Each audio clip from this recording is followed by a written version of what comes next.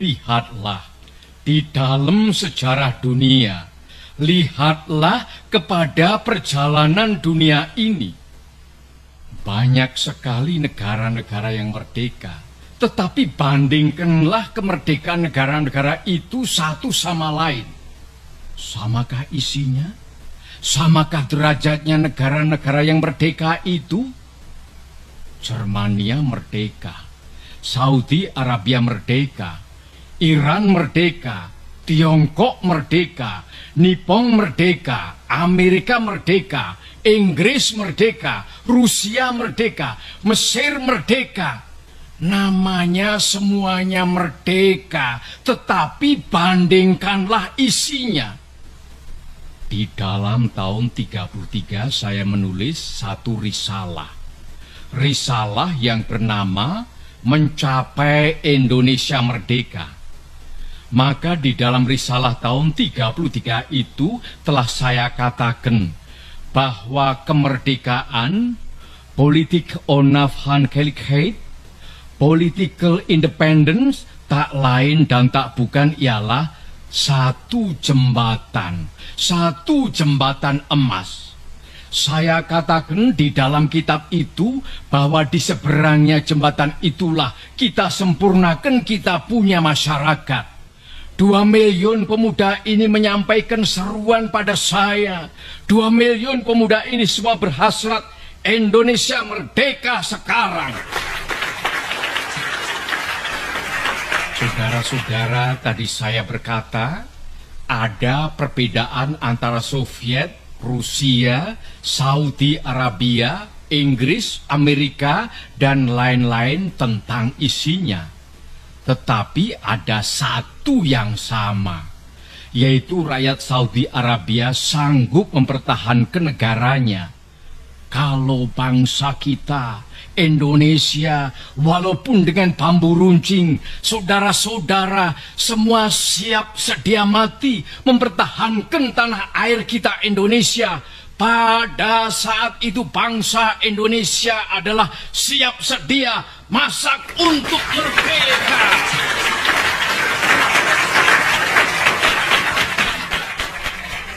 dalam Indonesia Merdeka, kita melatih pemuda kita agar supaya menjadi kuat.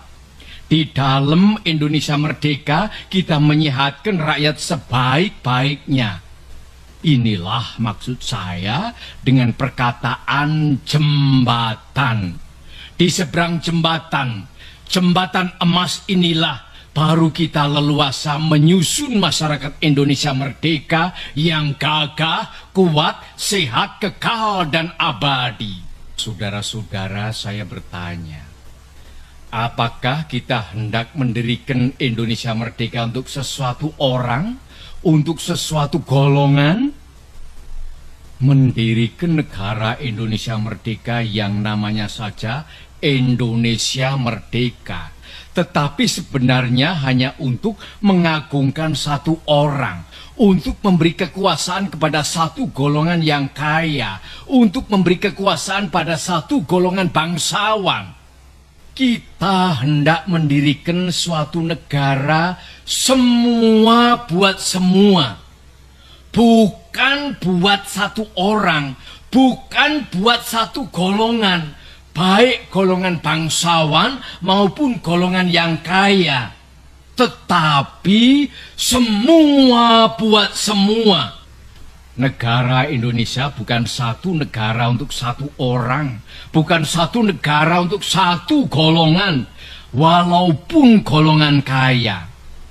Tetapi kita mendirikan negara semua buat semua, satu buat semua, semua buat satu. Saya yakin bahwa syarat yang mutlak untuk kuatnya negara Indonesia ialah permusyawaratan perwakilan. Maka prinsip kita harus apakah kita mau Indonesia merdeka? Yang kaum kapitalnya merajalela ataukah yang semua rakyatnya sejahtera? Yang semua orang cukup makan cukup pakaian hidup dalam kesejahteraan merasa dipangku oleh ibu pertiwi yang cukup memberi sandang pangan kepadanya? Mana yang kita pilih saudara-saudara? Kalau kita mencari demokrasi, hendaknya bukan demokrasi barat, tetapi permusyawaratan yang memberi hidup, yakni politik ekonomi demokrasi yang mampu mendatangkan kesejahteraan sosial. Prinsip ketuhanan bukan saja bangsa Indonesia bertuhan, tetapi masing-masing orang Indonesia hendaknya bertuhan. Tuhannya sendiri yang Kristen menyembah Tuhan menurut petunjuk Isa Al-Masih, yang Islam menurut petunjuk Nabi Muhammad Sallallahu Alaihi Wasallam, Orang Buddha menjalankan ibadatnya menurut kitab-kitab yang ada padanya.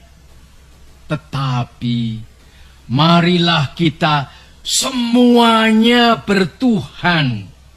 Hendaknya negara Indonesia ialah negara yang tiap-tiap orangnya dapat menyembah Tuhannya dengan cara yang leluasa Segenap rakyat hendaknya bertuhan secara kebudayaan, yakni dengan tiada egoisme agama.